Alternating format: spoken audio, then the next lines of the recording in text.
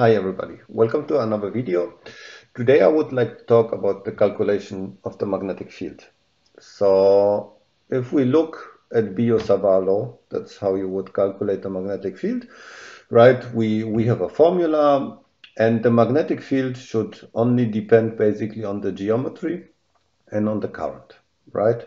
And of course I will not solve Biot-Savart laws here what I will do is I will use CST Studio and I set up a simple model with a loop and we measure the magnetic field in the center. Right here where a cube is, there is also a probe placed. And we look at the magnetic field. What we get is a, is a flat curve. Of course, we have fed the loop with one ampere of current and we get a constant magnetic field over the whole frequency band. So what's the problem? Oh, how, how did I come to this example? Is actually I was working on something different and this is a setup like this. We have a, a, a metallic plane with some finite thickness and a wire which is reference to the to this metallic plane. We measured the magnetic field at some section just uh, a little bit away from the wire here with the cubist. And if we do this, we will see that the magnetic field in this case is becoming frequency dependent. And I was asked, why is this happening? Is this maybe some, some inaccuracy of the solver? Can a solver, I mean, this is our frequency domain, um, basically what we call the high frequency solver, and we're solving down to one hertz. So is there a problem with the accuracy of the solver? That's what I was asked, and I digged into the model. What is happening here? So you see that starting at around one kilohertz, the magnetic field is increased. And I wanted to find out where, why is this happening. So the first thing I did is actually I changed the metallic plane that we saw here, which here is a so-called normal material. It's a volumetric conductor. I changed it to a PEC plane, right? So this is a, a P, PEC material type.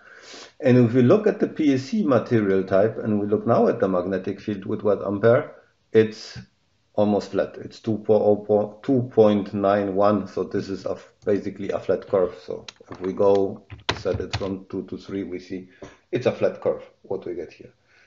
So it seems like in this one setup where we have a normal material, there is a frequency dependence in the magnetic field. But how does that go along with the Biot-Savart law, which says there is no frequency dependence?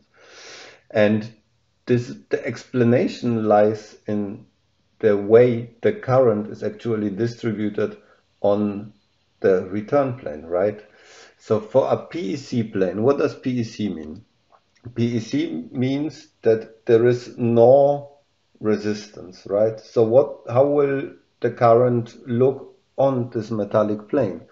If there is no resistance in the material and the, the basically the impedance is only governed by the by the inductance along the path, we see that the current distribution on this on the surface is exactly the same for all frequencies, right? There is no resistance. However, at low frequencies below the 1 kilohertz, the impedance will be governed by the resistance, which means that actually the return current on the plane or the current on the plane, whatever you want to call it, will have a, a, a distinct distribution. Oh, sorry, it's the loop. We have to go here. If we go to the normal plane and we now look at the current density. Obviously at 1 megahertz, oh, this is 1 kilohertz. At 1 kilohertz, it's getting close to what we saw on the PEC side, right? It's mainly located below the wire.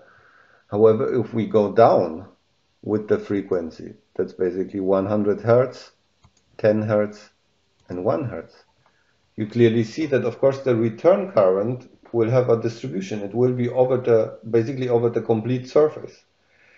And now, of course, this return current is also a source of the magnetic field. And this will lead to the fact that basically below the small cube, when we measure the magnetic field, there will be a higher field because the distribution between the between the higher frequency return current and this very low frequency return current is different. So that means that the source current, which we use in Biot-Savart's law, will be different. And of course, it is there. I mean, for Biot-Savart's law, this is Biot-Savart's law in terms of uh, wires, but it can be also defined in terms of a volumetric current.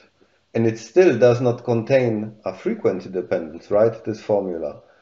But the distribution of the current is now frequency dependent, which leads to the fact that in the end we see a different magnetic field at this very low frequencies.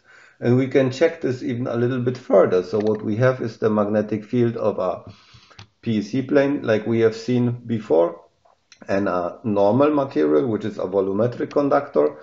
Then we can use a so-called lossy metal. So lossy metal is actually a high frequency method, which uh, which is approximating the resistance of the which is approximating the resistance of the plane working very well at high frequencies we can see basically up to one kilohertz the lossy metal is completely in agreement with this volumetric conductor and the lossy metal has the advantage that it only uh, needs to mesh the surface. It doesn't need to mesh the volume. However at this very low frequencies as expected.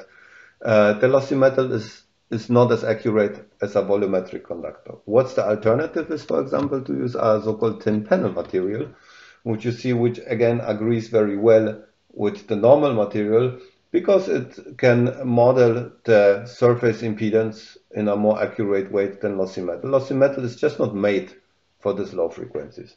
So you see, even maybe your intuition says that the uh, magnetic field should not be frequency dependent. It always comes down to to to the shape, to to the geometry we are modeling.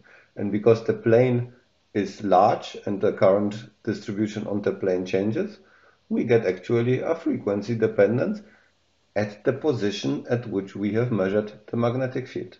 I found this very interesting. It's a short video today. I hope you have enjoyed it. Bye bye and see you next time.